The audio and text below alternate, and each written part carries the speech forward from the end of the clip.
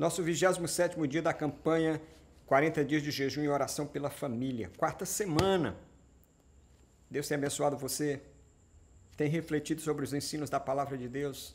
Isso tem sido significativo para você? Eu espero que sim. Espero que sim.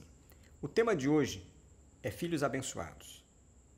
Na verdade, eu queria tomar como texto para essa reflexão o texto de Gênesis 27, de 30 a 41. Uma história que você talvez conheça. É a história do pai que tem dois filhos que são gêmeos e o pai, na verdade, ama um filho, a mãe ama o outro. E aí o filho mais velho, que deveria receber a benção do pai, porque naquela sociedade era assim que funcionava, ele sai para o mato para caçar, para fazer um guisado para o pai, que o pai havia pedido o guisado para poder abençoá-lo mas aquele mais novo, na verdade mais novo, porque simplesmente tinha nascido pouco primeiro, mas não era não era mais novo, que eram os dois eram gêmeos. Mas é, aquele que nasceu depois do primeiro, Jacó, você sabe que estou falando de Esaú e Jacó, foi até a mãe montar uma situação para que ele passasse, se passasse por Esaú e recebesse a bênção. E isso aconteceu.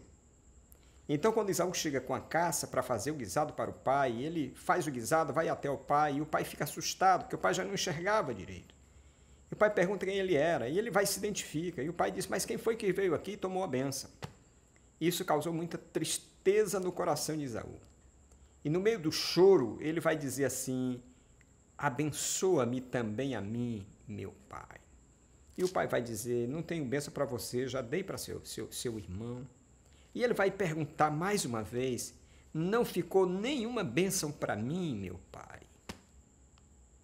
Eu fico pensando, meu, meu amigo, meu irmão em Cristo Jesus, quantos dos nossos filhos esperam de nós uma bênção? E muitos não têm. Às vezes tem maldições. Porque os pais, quando os filhos são pequenininhos, que beijam, abraçam, dizem que são os filhos mais bonitos do mundo, quando eles vão crescendo, esses pais perdem essa noção e às vezes xingam os filhos, amaldiçoam os filhos, dizem palavrões com os filhos, machucam, ferem emocionalmente os seus filhos. Esses filhos crescem com traumas, com dificuldades tremendas, muitos deles não conseguem superar, porque na mente fica aquelas palavras, ficam aquelas palavras que, que lhe trazem sempre para baixo. Então, em nome de Cristo Jesus, eu queria que você aprendesse a abençoar seus filhos, não amaldiçoar. Eu queria lhe pedir, em nome de Cristo Jesus, que você criasse o hábito de entrar no quarto do seu filho, orar por ele quando ele estivesse dormindo, orar com ele quando ele estivesse acordado ou quando ele estiver acordado.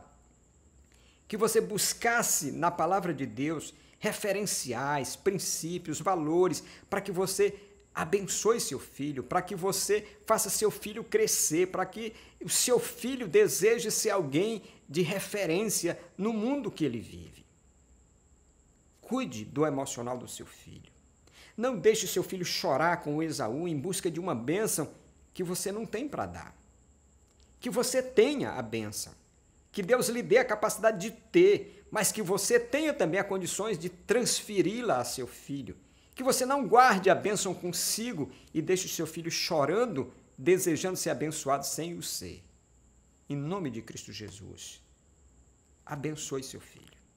Dê a ele a bênção que Deus tem para a vida dele. Não amaldiçoe.